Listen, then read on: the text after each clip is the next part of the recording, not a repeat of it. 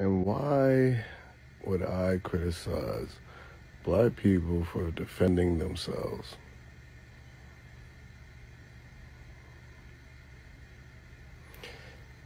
That's the thing about social media, man. It's left for interpretation. Y'all tripping. It make no fucking sense. None at all. I shouldn't even address it. That's stupid. But, you know, people want to make articles, interpretation. Do it. I don't care. Black people know I love black people. I'm black. I woke up to a bunch of stupid ass Google alerts with a bunch of stupid ass sites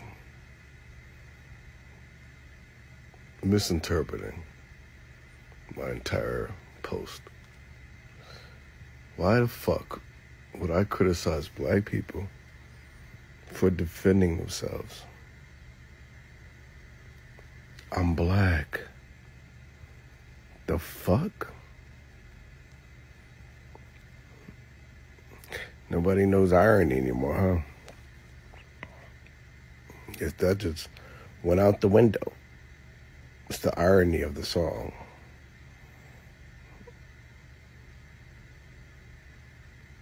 Stupid asses.